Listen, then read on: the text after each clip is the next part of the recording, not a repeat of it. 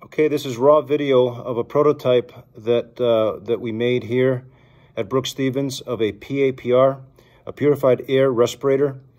Um, this is using a 3M painter's mask and uh, some materials just from uh, local hardware stores here to put the prototype together. The intent is to to push uh, positive pressure through the mask, through the intakes uh, on the filter side, so that you you're always having uh, fresh air coming uh, into the mask, um, including when you're exhausting through the, the, the, the, vent. The idea would be, if we needed to, to also have a filter on the, on the vent uh, or on the exhale um, exhaust side. All right, putting the mask on right now.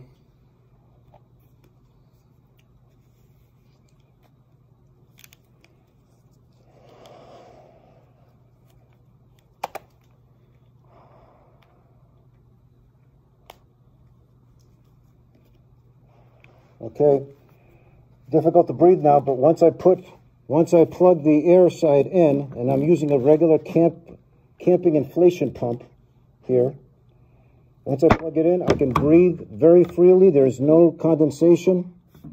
Um, I can uh, I can speak, uh, and again, easy to breathe.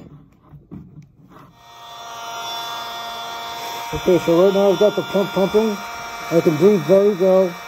You can see that there is no condensation on the inside of the mask above the uh, the exhaust uh, flapper because I have net positive pressure coming in here, in here like you do with a, a CPAP. Uh, similar to CPAP uh, product, but I'm using an existing 3M mask, existing tooling. We would have to replace certain components here for the filters.